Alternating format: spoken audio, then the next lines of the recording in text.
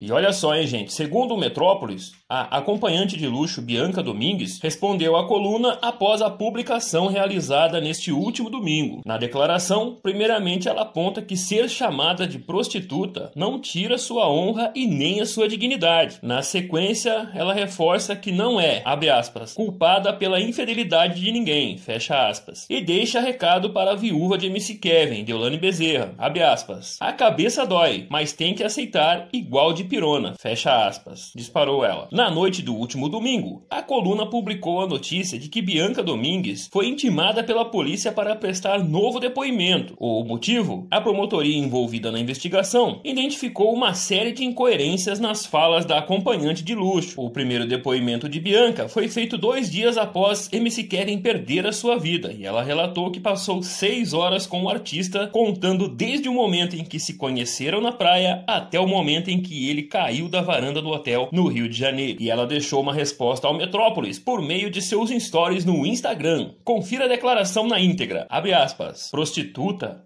modelo, acompanhante de luxo, subcelebridades, ex-fazenda, ex-BBB, Blogueiras são tantos nomes camuflados e a sociedade acha que as modelos não fazem programa? Precisam se informar mais. Tenho clientes sócios no Fashion Week e sei as que fazem e as que não fizeram. Me chamar assim não tira minha honra ou dignidade. Como já falei antes, sei da minha vida e história. Também sei que há muitas meninas que fazem isso para criar os filhos, estudar ou ajudar a família. Todos se prostituem ou se vendem por algo. Alguns por dinheiro, CLT, outros por mídia ou até por um copo de bebida, bolsas, presentes ou até um rolê de lancha. E Bianca continuou, aspas, Tem até as que voltam para casa a pé ou esperam uma miséria de pensão. São tantos exemplos, também não sou culpada pela infidelidade de ninguém. Sei que a cabeça dói, mas uma hora tem que aceitar, igual de pirona. Ah, lembrando, sou testemunha do caso e sempre estive disposta a colaborar com qualquer coisa que pedissem, sem precisar de barraco na internet ou ficar expondo as pessoas no momento tão delicado. Confira agora o vídeo.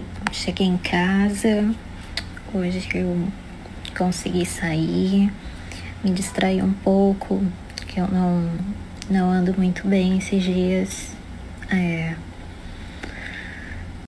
do, do que aconteceu, permaneci calada pelo meu direito para não me expor mais, não me expor minha família, expor né, as outras pessoas que que querendo ou não são envolvidos.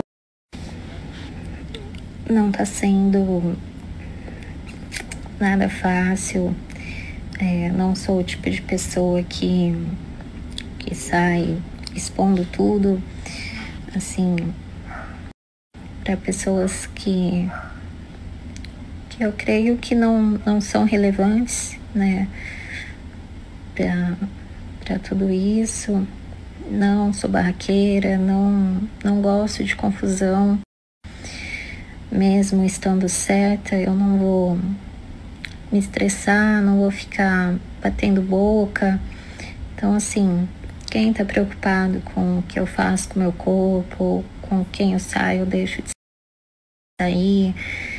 É, essas pessoas não influenciam em nada. Eu sei da minha vida, eu sei as pessoas que eu ajudo, eu sei da minha família.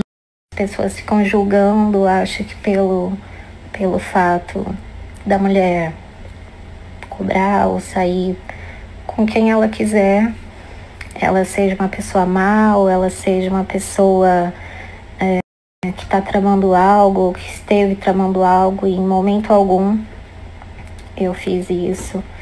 É, sempre estive disposta a ajudar, a colaborar em tudo. Até o momento eu eu me mantive quieta, é, acho que por mais não ter forças mesmo pela situação. É, é, não é fácil, eu nunca me imaginei numa situação dessas.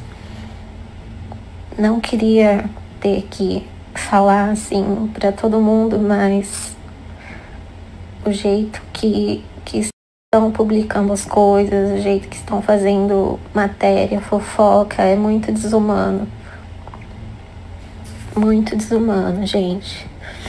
E agora eu quero saber a sua opinião. O que vocês acharam do que a Bianca Domingues disse à doutora Deolane Bezerra? Deixe nos comentários. Muito obrigado por assistir, curtir e comentar esse vídeo. Se inscreva no canal e ative as notificações. Vou ficando por aqui deixando um forte abraço e até o próximo vídeo.